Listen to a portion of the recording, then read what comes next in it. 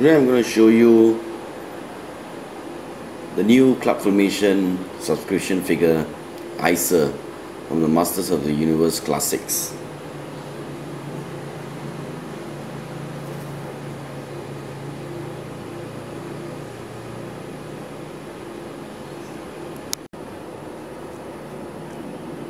Icer comes in this uh, plastic package and uh,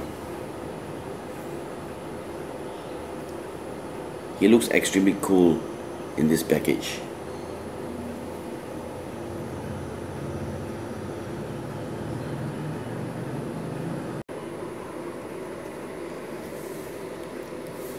the bag features a brand new bio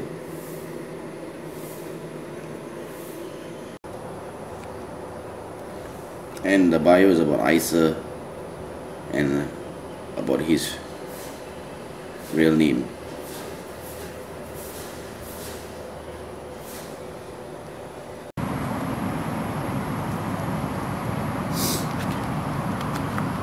As you can see, this is Icer out of the package.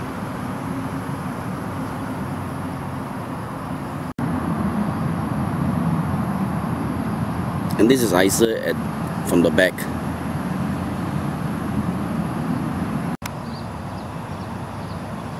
One of the weapons he comes with is this ice pick, which is a sharp kind of icicle, sharp like a sword.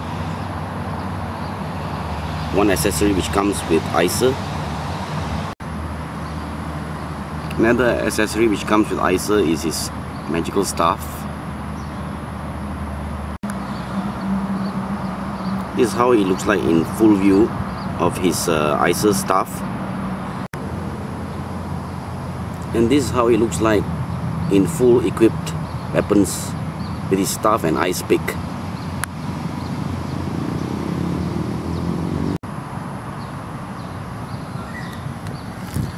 Now it's review time of uh, Icer.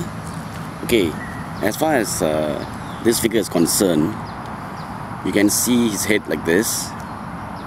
It can be turned this way, all the way out. It doesn't hinder the movement. This Eskimo part kind of uh, fit is uh, not really that much of a blockage because the head behind there's no blockage. So that's why you can turn the head this way and this way.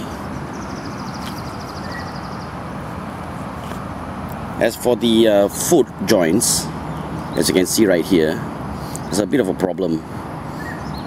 It, it only can go this way and this way. And because it can't go behind is because this part is blocking the way.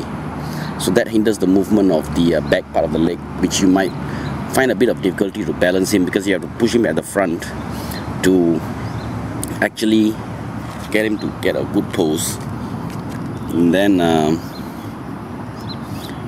hand joints are all easy to move like this. Doesn't have a back movement.